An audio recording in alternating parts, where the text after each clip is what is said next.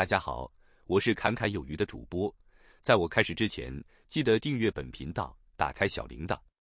这样我发表新内容时，你才能获得最新的节目通知。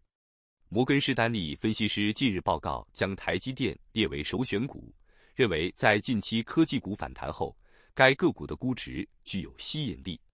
摩根士丹利的分析师 Charlie Chong 在报告中写道，在长期的半导体下行周期中。他们看好台积电的质量和防御性。他还指出，确认涨价和人工智慧 AI 资本支出持续走强，应该是台积电关键的催化剂。Chan 预计，凭借涨价，台积电2025年应能实现逾百分之五十五的毛利率，并且在海外晶圆厂实现规模经济后，将于2028至2030年逐渐接近百分之六十的毛利率水平。台积电此前公布的二季度销售额、净利润、毛利率均高于预期，当季净营收超预期，同比增长百分之四十点一；净利润超预期，增长百分之三十六点三，毛利率为百分之五十三点二，高于台积电的整个指引区间百分之五十一至百分之五十三，也高于分析师预期的百分之五十二点六。台积电还上调了今年的销售指引。将全年按美元计销售增长预期升至百分之二十中短区间以上，从百分之二十一至百分之二十六区间上调至百分之二十四至百分之二十六。台积电增长主要得益于近期 AI 与高效能运算领域需求强劲。二季度，台积电的 AI 晶片代工业务延续强劲势头，同时在 iPhone 出货量增加的提振下，智慧型手机业务。稳步复苏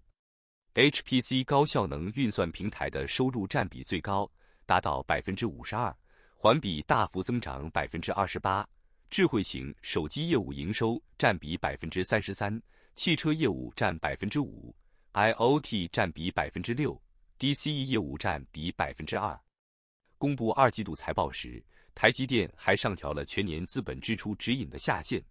预计全年资本支出为三百亿美元至三百二十亿美元，整个指引区间高于市场预估的二百九十五点五亿美元。此前指引为二百八十亿美元至三百二十亿美元。台积电董事长兼总裁魏哲嘉在当时业绩电话会上表示，之所以上调全年资本支出指引下限，主要是考虑到更高的增长机会。本季度营收超指引的部分。主要受益于 N 三和 N 五制程需求。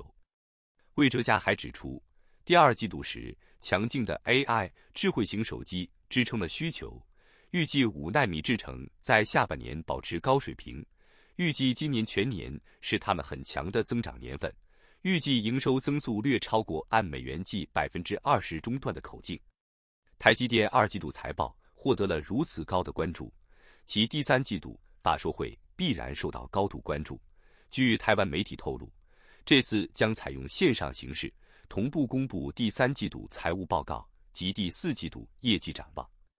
市场预期，在客户积极新处理器积极下单的背景之下，台积电第四季度营运可望延续成长趋势，季度营收将续创历史新高。受苹果新 iPhone 十六系列处理器、联发科以及高通。在十月推出全新一代旗舰处理器以及 AI 加速器等强劲需求的推动，台积电第四季度营收有望较第三季度再成长。台积电方面表示，五纳米、三纳米先进制程及 CoWoS 先进封装是台积电今年及明年营运成长的主要动力。因应客户强劲需求，台积电今年和明年 CoWoS 产能将逐年倍增。估计二零二五年月产能将达七万片规模。除营运展望及 CoWoS 扩产计划外，台积电美国、日本和德国海外布局进展，以及国内扩产规划、二纳米等先进制程技术进展，都是市场关注重点。在此背景之下，台积电二纳米以下先进制程中科扩厂有最新进度。中科管理局长许茂新九月中旬已表示。中科台中二期园区扩建，目前同意协议架构的土地面积已达百分之九十五，全案预计年底完成架构，明年第一季交地供台积电建厂。中科二期园区扩建。除供台积电建厂使用之外，还剩约三公顷土地可提供相关产业厂商申请进驻。据了解，目前已有多家半导体供应链、精密机械厂商表达进驻意愿，中科管理局也欢迎 IC 设计业者加入。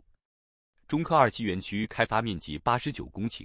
其中兴农高尔夫球场占六十七公顷，比例约达百分之七十六点八，为最大地主。军方靶场十二公顷，私人土地十公顷，土地取得费用预算约二百三十七亿元。目前，二期园区共有一百一十一位地主及地上物，累计同意协议架构人数百分之七十，面积百分之九十五。徐茂新指出，中科管理局仍持续跟未同意协议架构的地主沟通。目前，未同意架构的土地面积约三点六公顷，面积占百分之五，约二十八位地主。管理局将于十月初提报强制征收计划。但在内政部核定征收计划前，仍会积极跟地主沟通，以达成协议。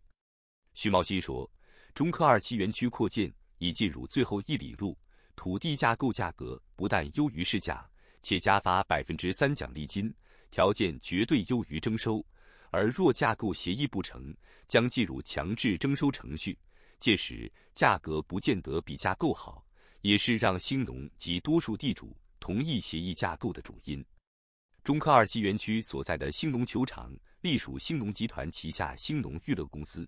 外界推估，一旦球场被征收，扣除球证补偿金后，杨天生家族可以入袋的现金预估在一百五十亿至二百亿元新台币间。台积电在中科二期园区厂区的二纳米以下先进制程中科扩厂之外，高雄已经同步上升为台积电未来更重要的根据地之一。高雄除了台积电三座二纳米晶圆厂外，还可容纳二纳米以下技术设厂需求。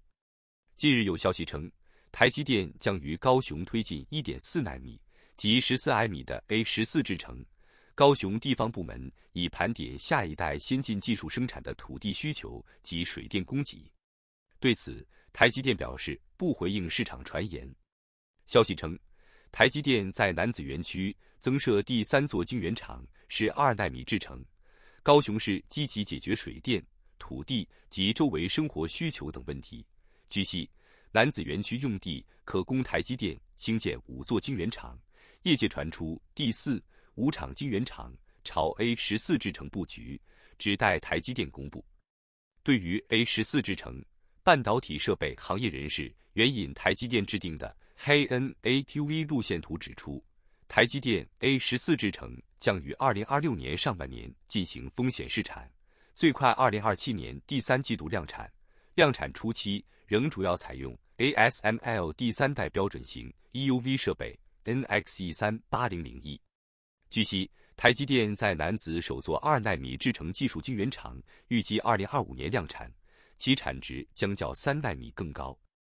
知情人士称，未来二纳米制程。会应用于高效能运算、HPC 和智慧型手机应用领域，还有电动汽车、自动驾驶汽车等。台积电向来超前研发先进技术，为未来市场布局。那么，本期影片到这里就结束了，感谢你的观看，期盼能与你产生共鸣。侃侃而谈，阔论有余。最后，请你点赞、订阅，这是对本频道最大的支持了，谢谢。